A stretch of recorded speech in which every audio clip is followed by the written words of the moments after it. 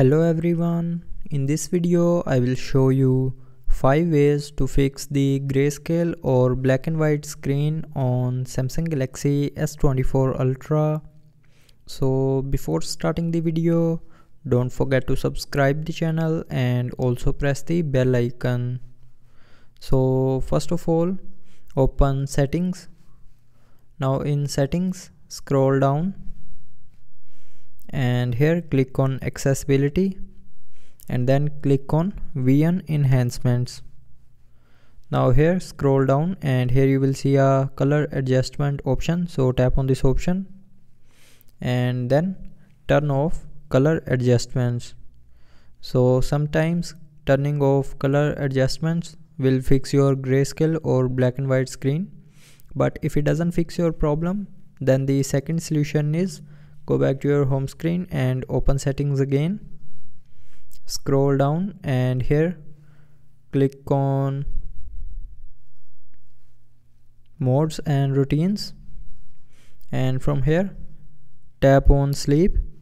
So if the sleep mode is turned on turn it back off. So turning on the sleep mode will make your screen black and white. So now you can see the screen is black and white and grayscale. So turn it back off to fix the screen colors. But if you're still facing the problem then the third solution is open settings. Scroll down and here click on display. Now from here switch between dark mode and light mode two to three times. So just simply tap on dark and then the screen display will be switched to dark mode and then switch to light. So do it two to three times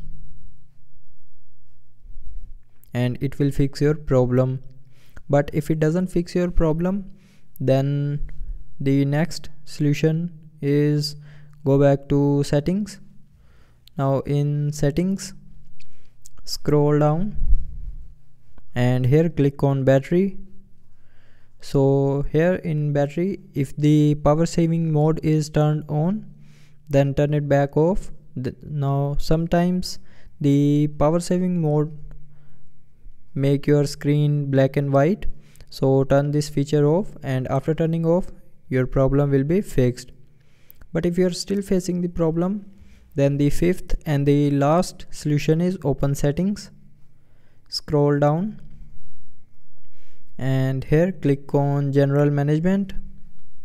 Now in general management scroll down. And here click on reset. Now here in reset scroll down and click on reset all settings. And then click on reset settings again.